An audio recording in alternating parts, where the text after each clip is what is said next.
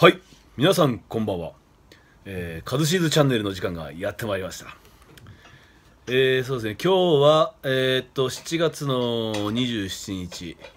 えーね、東京オリンピック真っ只中ということでね。あの毎日オリンピックを見てね、あのー、応援してますけどね、えー、そうですね。今日は、えー、レジェンドシリーズ第2弾ということで、えー、ついにね、えーミスタープロレスこと、えー、天竜源一郎さんのお話をしたいと思います。えー、天竜さんとはですね、まああのー、因縁というか縁がすごくあってですね、まああのー、デビューしてからまあまあまあその前を正せばあの2000年のね大量離脱の時にあの天竜さんが、まあ、あの本当にねあの救世主のごとく帰ってきてくれてあのそこからなんですけども。まあそれで僕がねあの2001年の8月19日にデビューして、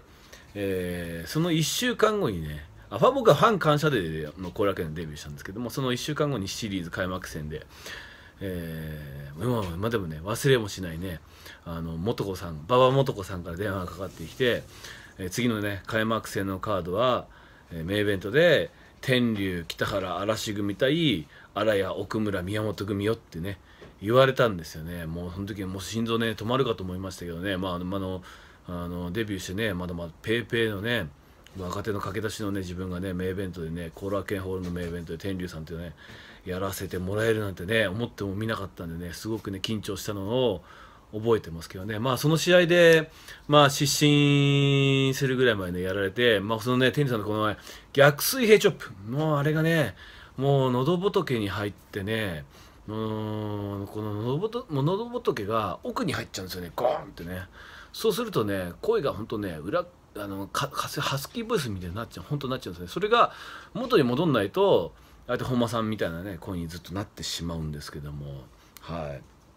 い。でその後、天竜さんはね、まあ、WAR 軍としてしばらくね、あのー、馬場素子さんの全日本プロレスでね、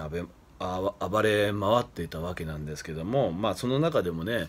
あのー、カンドル忍さんをセコンドで連れてきたりとかね、冬木さんをね連れてきたりとかねすごく話題がねあの豊富でしたよね当時はね。でまあその度に僕もねあのガンガンやられて僕が鼻の骨をね6回折ってるんですけども、まあ、のその6回のうち4回が天竜さんなんですよね、まあ、その後の2回は藤原組長とジョニー・スミスですね。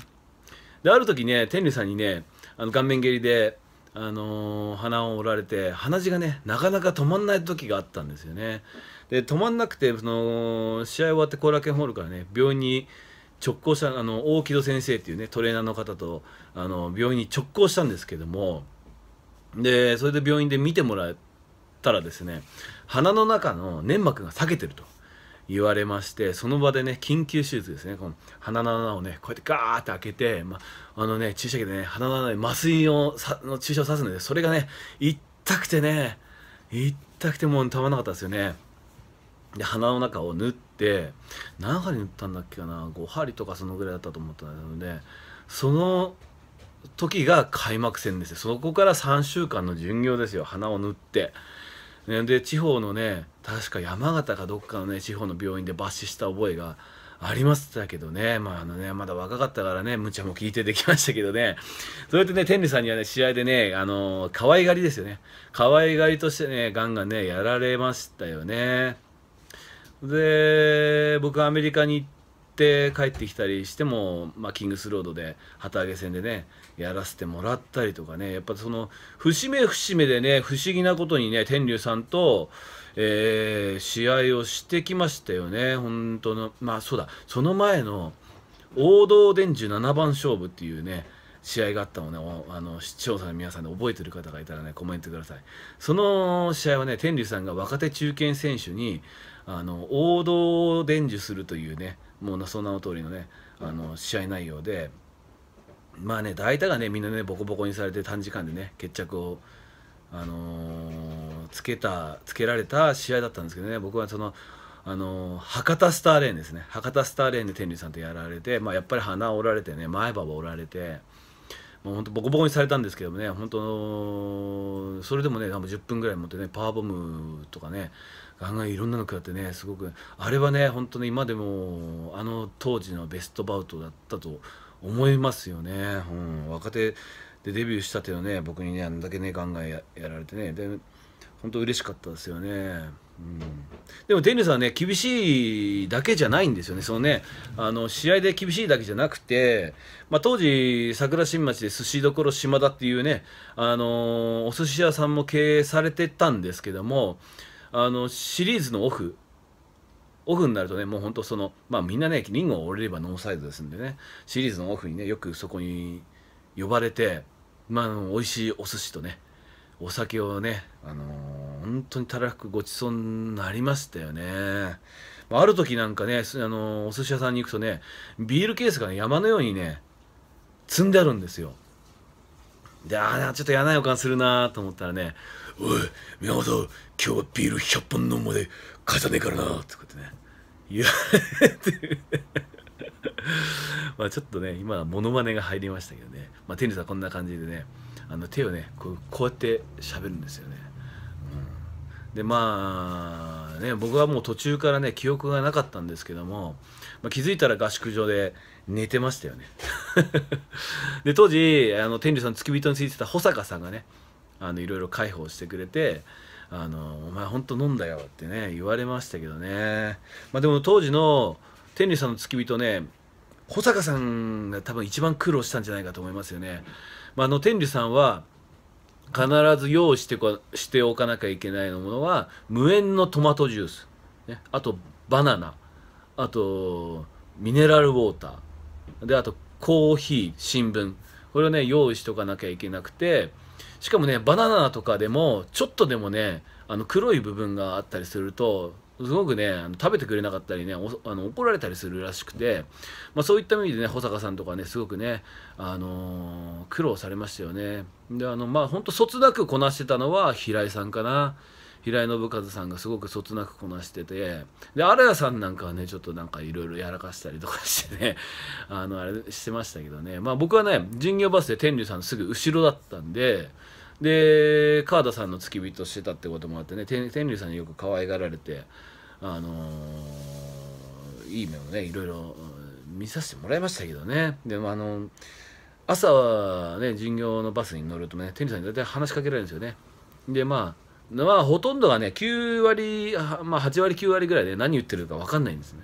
で返事に困って、まあ、聞き返すのはね2回までならね聞き返してよかったですね。で3回目になるとちょっと聞き返せないなっていう雰囲気になってまあ当たり障りなく「ああそうですね」ってねあのー、言っ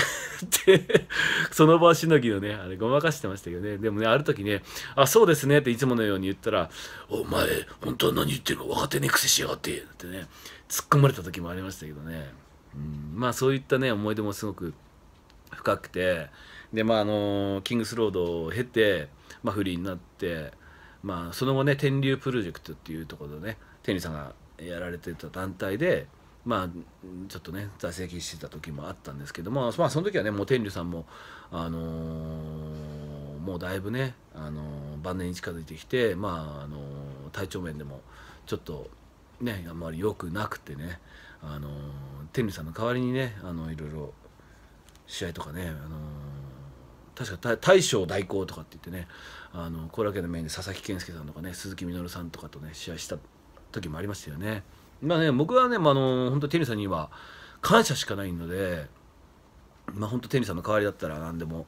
やるぞっていう気になってましたけどねあそうそうそれでその後にあのー、何年前3年前かなに行われたあの馬場さんと素子さんの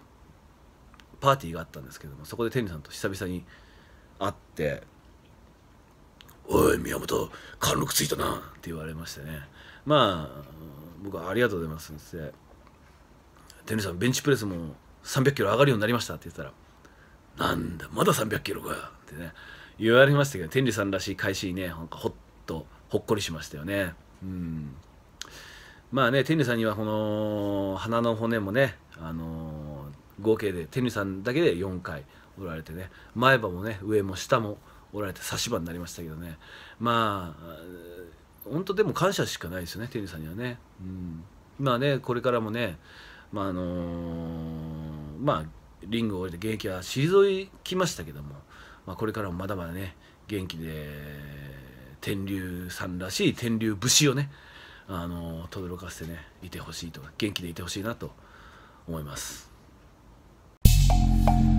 えー、カズシーズチャンネルではこの番組を一緒に盛り上げてくれるスポンサーを大募集しています、えー、詳しくはお気軽に DM、えー、ください。よろしくお願いします。